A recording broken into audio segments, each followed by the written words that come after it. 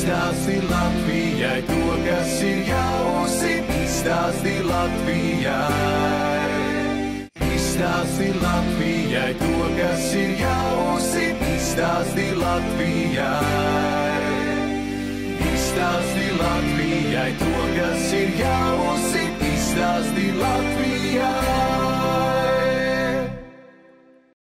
Esiet sveicināti raidījuma izstāsti Latvijai skatītāji. Man ir patiesas prieks jūs visus satikt jau septembrī. Pavisam drīz mūs pārņems rudenim raksturīgā nostalģiskā sajūta, kā arī Latvija rotās krāsainās rudens lapas.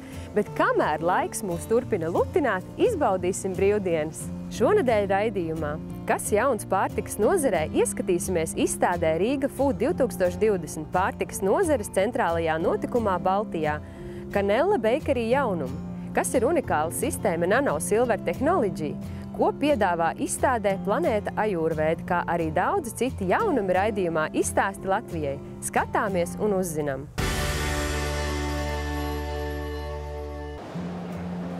Šodien mēs viesojamies lielākajā pārtikas industrijas izstādē Rīga Food 2020, kurā ik viens gardēdis atradīs ko jaunu un noderīgu savai ēdienkartei, kā arī varēsiet vērot pavāru, konditoru un bārmeņu šovus.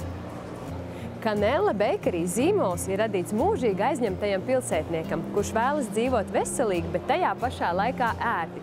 Bet pats galvenais ir atvērts jaunām idejām un vēlas iepazīt pasaules dzīves stilu un garšas tendences. Kanela Bakery pamatvērtības ir garšīgi, veselīgi un ērti.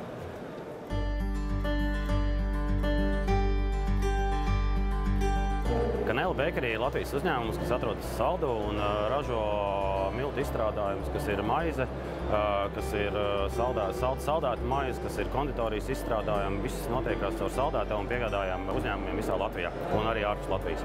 Esam veikuši tirgus pētījumu un uzskaidrojuši to, ka cilvēkiem patīk mājās gatavot un darīties visu pašiem. Tad ir iznācis jauna produktu līnija mums, kur atļaujam cilvēkiem pašiem sagatavot, nopērkot veikalā saldēšanas vitrīnēs, ir atrodama produkcija, kur nopērkot mājās pats pagatavot. Produkti ir radīti viena kumos pīrādziņas, kuras attaisa vaļā. Šis ir konkrēti biespienu bumbiņas, attaisa vaļā un tad ar vienu piegājienu viņu var apēst ērti lietojams. Ir, faktiski ir bez ēvielām produkts, jo uzņēmums kā tāds viņš strādā.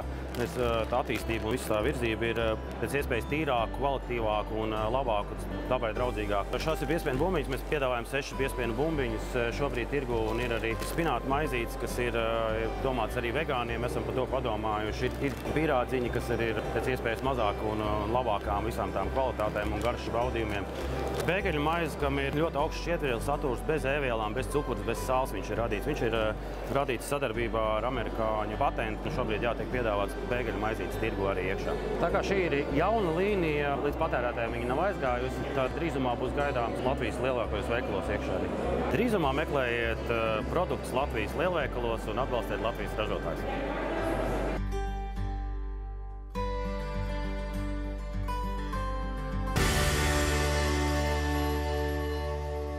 Nano Silver Technology ir unikāla tīrīšanas līdzekļi, kas paredzēti gan mājas uzkopšanai, gan arī automašīnas tīrīšanai. Tiem ir garantija pusotrs gads, bet kalpošanas laiks līdz pat desmit gadiem. Nano Silver Technology produkcija ne tikai ietaupīs tīrīšanas laiku, bet būtiski samazinās izmaksas.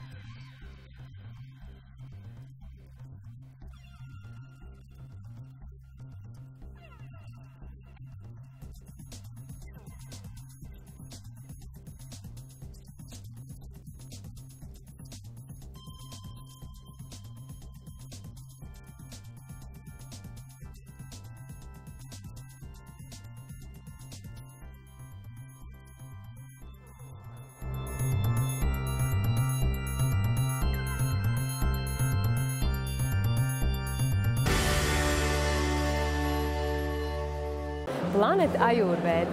Tie ir 100% dabīgi ajurvēdas produkti no Indijas, kas palīdzēs atvesaļot, atjaunot un dziedināt ķermeni. Produkti satur tikai dabīgus auga ekstraktus, nesatur ķimikālijas. Un tie ir vegāniski, lai būtu organismam labāk pieejami.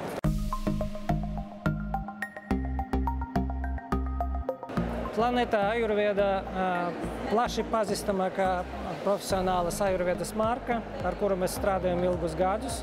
To zina gan profesionāli, gan entuziasti.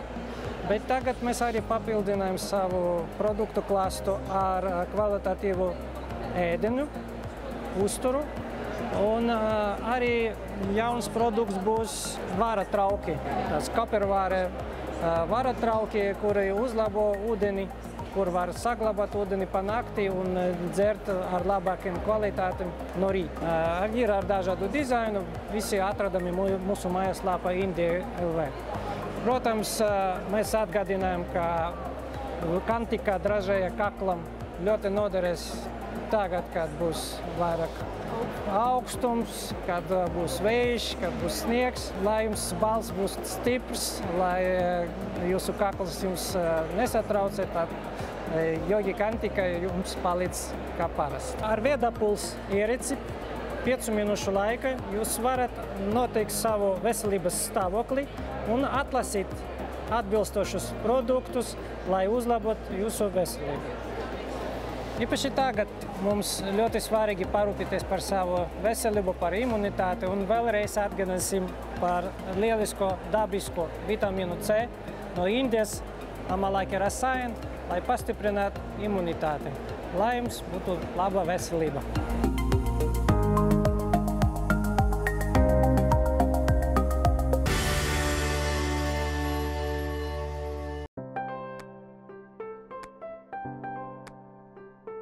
Kāpēc olas būtu ieteicams iekļaut ikdienas ēdienkartē? Tāpēc, ka tās atstāja ļoti pozitīvu iespaidu uz veselību. Tās palīdz aknu un smadzeņu veselībai, svara kontrolei, ādas un locītavu veselībai, kā arī uzlabo acu veselību, bet pats galvenais tās stiprina imūnsistēmu. Lielākais olu ražotājs Baltikovo ir izveidojis īsu pamācību olu marķējumu atpazīšanā. Tā būs vieglāk noteikt, no kurienes izvēlētā ola ir nākusi. Un tas ir pavisam vienkārši. Atverot kastīti, mēs varam redzēt, ka katrai olai sānos ir kods. Pirmais cipars norāda uz dējai vistu turēšanas metodi. Mēs viesojāmies Baltika Ovo, kur tiek atklāta jau otrā ārpus sprostu dējai vistu novietne Latvijā.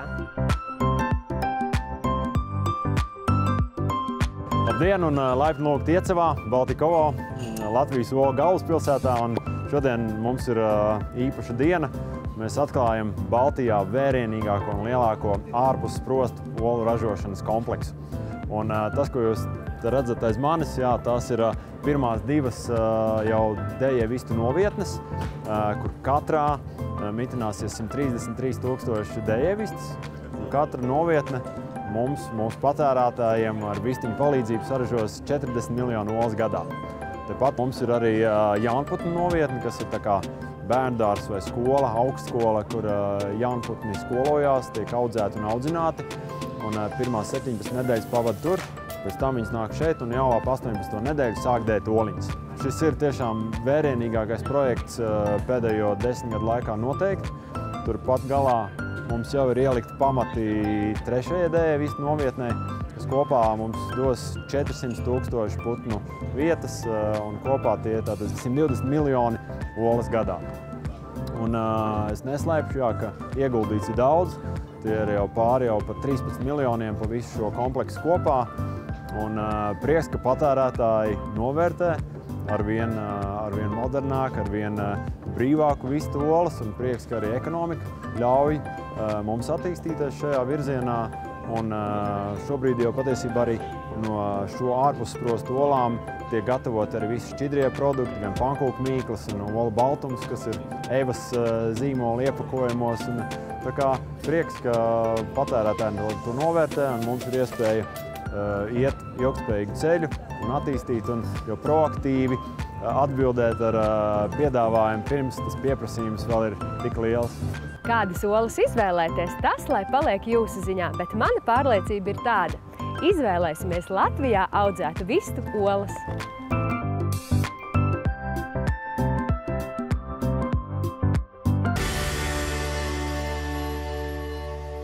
Augstākās kvalitātes vīns no Vācijas un Luksemburgas Mozeles vīna darītavām par vairumtirdzniecības cenām. Labs vīns padara dzīvi krāsaināku un daudzveidīgāku. Šodien mēs atrodamies jaunajā Mozelvainas uzņēmuma veikaliņā, kas atrodas Pulkveža brieža ielā 33. Un šeit jūs šodien varat iepazīties ar mūsu plašo Vācijas un Luksemburgas vīnu klāstu, piedaloties Lux Expo. Tad atradu Šumacher vīndarītavu, ja, kas manā skatījumā ir viena no labākajiem visā Luksemburgā vīni. Un tad es ļoti laba sadarbība man ir ar Vanmozeli, tas ir uh, vīndarītavu kooperatīvu, kur ir 300 vīndari. Praktiski viņi aizpilda vienu trešo daļu Luksemburgas tirgus.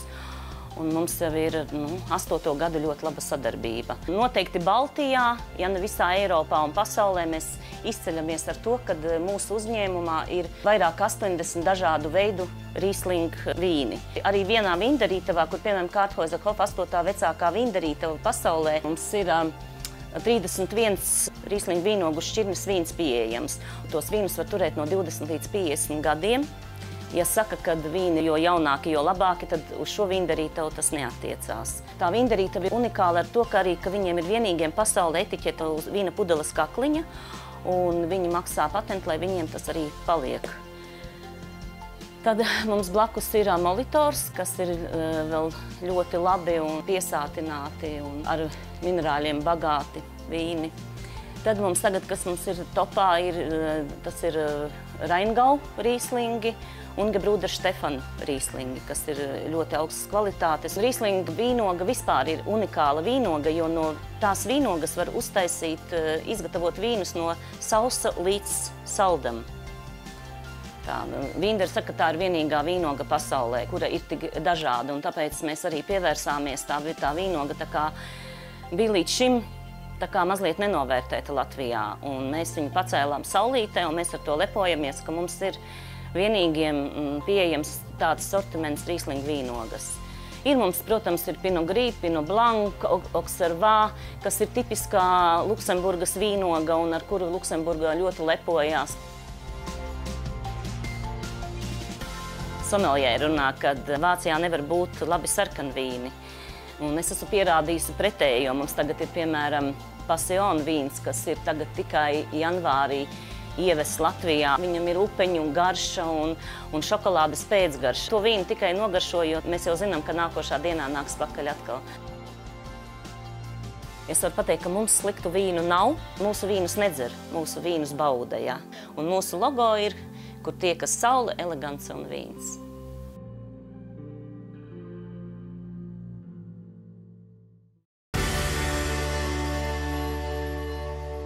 Meklējiet jaunas mēbeles, oru mēbeles. Tā ir izcila kvalitāte, ērtums, kvalitatīva ekoloģiski materiāli un dizains par saprātīgām cenām. Tas ir komforts, ko varat atļauties. OR mēbeles tas ir uzņēmums ar ilgadēju pieredzi atbildīgu un individuālu attieksmi pret katru klientu, kā arī gadu gaitā izkoptām tradīcijām, kas rada īpašas mēbeles tiem, kuri vēlas ap sevi sajust skaistu, modernu un pārdomātu interjeru. OR mēbeles ir viens no pieredzes bagātākajiem gultu matraču ražotājiem. Klientiem tiek piedāvāti dažāda veida matrači, bez atsperēm, ar atsperu blokiem, ortopēdiskie, kā arī elastīgie memory foam matrači. Matračus ir iespējams izgatavot jebkurā izmērā, formā un pildījumā. Gultu apdarē ir pieejami vairāk nekā tūkstoši audumu veidi katrai gaumei. Ūdens necaurlaidīgi audumi, ādas, ādas aizvietotāji un stepējumi ar ultraskaņu. Unikalitāte ir naktskapīts ar bezvadu lādētāju. Gultas ir augstākas, līdz ar to tām ir dziļākas kastes, kas nozīmē augstāku funkcionalitāti to lietošanā. Ja dzīvokļa platības liedz iegādāties gultu, tad var izvēlēties OR mēbeles ražotos dīvānus, kas ir viegli saliekami, bet kas ir svarīgākais, dīvāna matracis speciāli veidots ērtai gulēšanai un īpaši veidotais roku balsts kalpos kā gultas galvgalis. Piedāvājumā ir arī gultas un dīvāni ar Skvarovskiju kristālu darinātiem elementiem, kas jūsu interjerā radīs īpaši greznu iespaidu. OR mēbeles piedāvā arī kvalitatīvas bērnu gultas, kuras ir izgatavotas no dabīgas priedes vai bērza masīvu koka. Kļūstot par pastāvīgo uzņēmumu OR mēbeles klientu, jūs saņemsiet atlaides par katru pirkumu. Komforts, kvalitatīvi un ekoloģiski materiāli un dizains par saprātīgām cenām.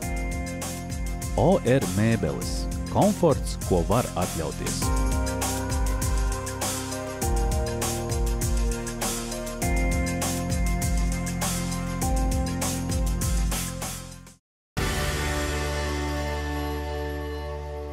Jau kādu laiku Eiropā ir pieejams D vitamīns, kuru pietiek lietot tikai vienu reizi nedēļā, lai pilnvērtīgi nodrošinātu savu organismu ar D vitamīna devu. Skatāmies un uzzinām. Stipru veselību un mūžu garu jums un jūsu mīļajiem! Latvijas iedzīvotāja imunitāte salīdzinoši ir vērtējama kā zema. Ikvienam cilvēkam reizi gadā vajadzētu pārbaudīt D vitamīnu līmeni, jo no tā trūkuma mēdz būt daudzas un dažādas veselības problēmas. Piemēram, nespēks, infekcijas slimības, matu izkrišana, muguras sāpes, depresīvas sajūtas. Mēs visi zinām, ka jālieto D vitamīns, bet diemžēl ikdienā aizmirstam par to. Cilvēki bieži vien ignorē šo, un tad D vitamīna līmenis asinīs pāris mēnešu laikā nokrītas līdz kritiski zemam līmenim. Uztura bagātinātāja lietošana nav piemērota D vitamīna deficīta ārstēšanai. Šajos gadījumos jālieto zāles, ko izraksta ārsts. Naivi iedomāties, ka kampaņveidīgi vai uh, vienreiz ievadot D vitamīnu, mēs varēsim izārstēties vai pasargāt sevi no infekcijām. D vitamīna līmenim ir jābūt pietiekošam visu laiku. Tas nozīmē, ka D vitamīnu ir jāuzņem pastāvīgi, regulāri. Vislabāk to darīt ārsta uzraudzībā, lai ārsts nozīmē attiecīgos medikamentus, noteiktu D vitamīna līmeni un redzētu, kā tas mainās un cik liela deva ir nepieciešama. Un um, varētu teikt, ka daudzi cilvēki šobrīd ļoti aktīvi iesaistās savās veselības problēmās, ko es uzskatu par ļoti pareizu, un arī mudina ģimenes ārstus un mudina speciālistus jautā par D vitamīnu līmeni un paši to nosaka. Jau kādu laiku visā Eiropā ir pieejams D vitamīns, kur ir jālieto vienu reizi nedēļā, un tas ir dozētas D vitamīna eļļas šķīdums, ar to pilnvērtīgi nodrošinot organismu. Vienmēr konsultējieties ar ārstu un farmaceitu, kas ieteiks labāko risinājumu tieši jums.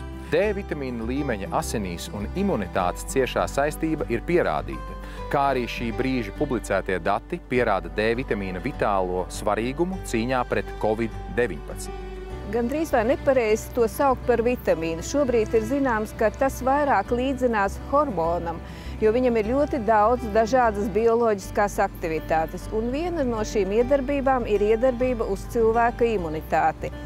Uh, ir parādīts, ka D vitamīns veicina pretinfekciozo imunitāti. Tas nozīmē, ka tas palīdz cīnīties ar elpceļu infekcijām, augšējo elpceļu infekcijām un ieskaitot arī šobrīd ļoti aktuālo Covid infekciju. Svarīgi atcerēties, ka sasniedzot optimālo D vitamīnu līmeni asinīs, šis līmenis ir jāuztur, ilgstoši turpinot lietot D vitamīnu uzturošo devu.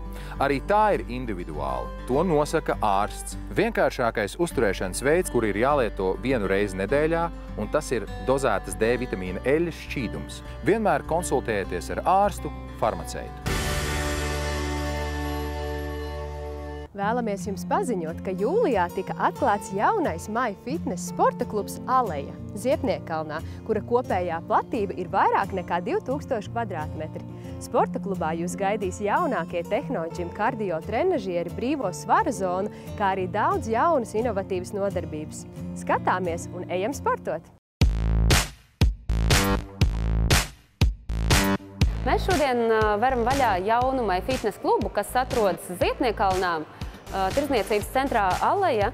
Un, uh, es gribētu teikt, ka šīs klubs būs paredzēts uh, visiem uh, apmeklētājiem, jo mēs piedāvāsim ļoti dažādus uh, pakalpojumus, uh, dažādas nodarbības, un uh, es ļoti ceru, ka visiem tas patiks. Pie mums Alajā, šeit jaunajā Ziepnieka kalna 14. mai fitnesā, mums ir pieejams ļoti dažādas grupu nodarbības, un man liekas, ka klientu loks, kuru mēs varam apmierināt, ir ļoti dažāds, jo mums ir tāda lieta kā Studio X, kas ir mai fitnes veidota koncepta nodarbība, zāle būs tāda īpaši apgaismot, ne tik gaiša kā šeit, tādā mazliet tā kā balīts atmosfērā, ir ļoti augsts intensitātes nodarbība, tad arī šajās zālēs, gan šeit, gan blakus aiz sienas, būs jauna nodarbība barē, kas ir jaunums visām fitnes tīklā Latvijā. Mums tāda nodarbība līdz šim nav bijusi, kas ir uh, spēka treniņš ar baleta nedaudz elementiem. Tā nav dejošana, bet tas ir tāds specifisks spēka treniņš, kas arī varētu uh, būt pieejams ļoti dažādai vecuma grupai. Un arī blakus zālē būs pieejams senioru nodarbības, tā kā arī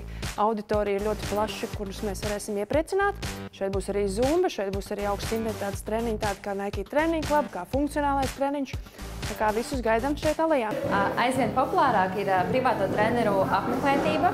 Mūsdienās cilvēki vairāk domā par savu veselību, seko līdzi gan ikdienai, gan arī tam, ko, cik daudz mēs kustamies, ko mēs darām, kāds ir mūsu uzturs. Tāpēc privātais treneris nes lielu lomu katra cilvēka dzīvē, un noteikti kāds nav pamēģinājis un izmantojis šādu pakalpojumu, ieteiktu visiem to izdarīt jo tas ir principā tas paver tādu jaunu dzīvē, dzīvē sākumu.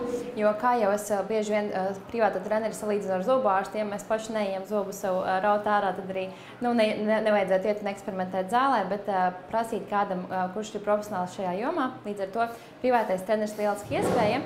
Un, uh, ja jums ir abonements MyFitnessā, tad ir uh, lieliski iespēja arī uh, apmeklēt džimā pēc uh, nodarbību, kas ir bez maksas privātā trenera pavadībā jums izstāstīs par zāli, parādīs trenižierus, kāda pareiza ir tehnika un visas pārējās nianses. Mums jau šobrīd ir 14 klubi, līdz ar to nebūs grūti atrast, es domāju, kādu klubu, kurš ir tuvāk un izvēlēties attiecīgi arī sev piemērotu treneri. Kā to darīt? Mājaslapā vai aplikācijā MyFitness var iet apstīties lieliski un vienkārši un ērti atrast privāto treneri. Arī pieejams gan telefona numurs, gan arī e-pasts, kur jūs privāti treneri varat sazināties un sarunāt turpmākā treniņu vai vienkārši pakonsultēties sev aktuālos jautājumos. Esiet sportiski, esat veselīgi un laipni aicināti pie mums jaunajā MyFitness Ziepniekalns.